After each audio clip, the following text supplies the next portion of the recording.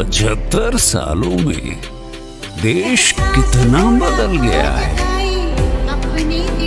कभी पैदल शुरू हुआ प्रगति का सफ़र पहियों तक पहुँच गया है।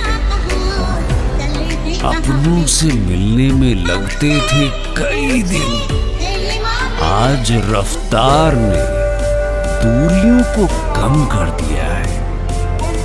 कभी करना पड़ता था लंबा इंतज़ार। आज वक्त पर सब मिल रहा है। कभी नाव से नदियाँ होती थी पार। आज नदियों को लांघा जा रहा है। मेरा देश तेज़ी से प्रगति कर रहा है।